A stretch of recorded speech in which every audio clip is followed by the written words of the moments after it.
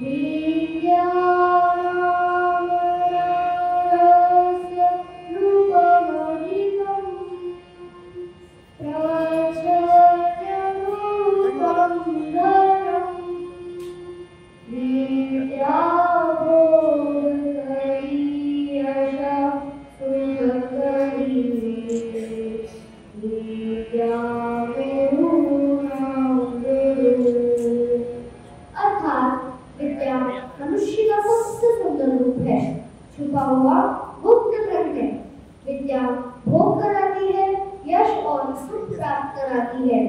विद्या गुरुओं की भी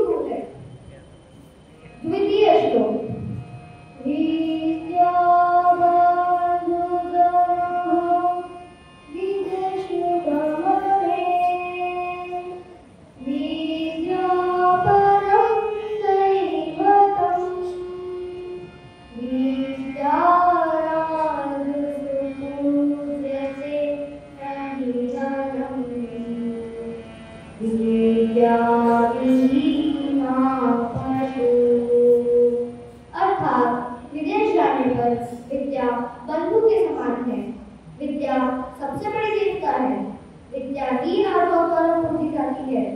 धन नहीं, विद्या के बगैर मनुष्य पशु समान है। तृतीय श्लोक।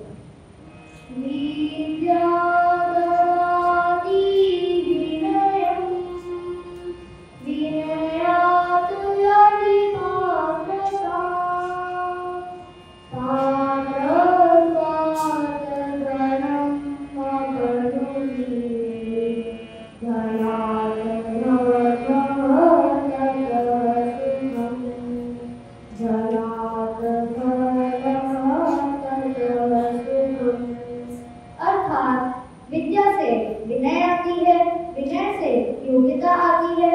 योग्यता से धन की प्राप्ति होती है, धन से धर्म और धर्म से सुख की प्राप्ति होती है। अंतिम श्लोक।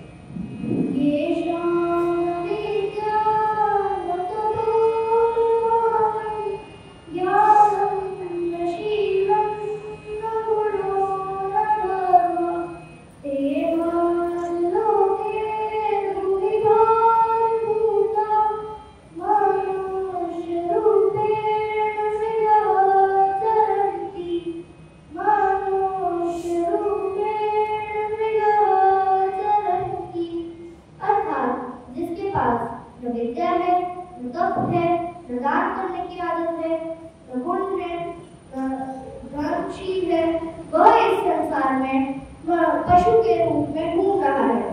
धन्यवाद।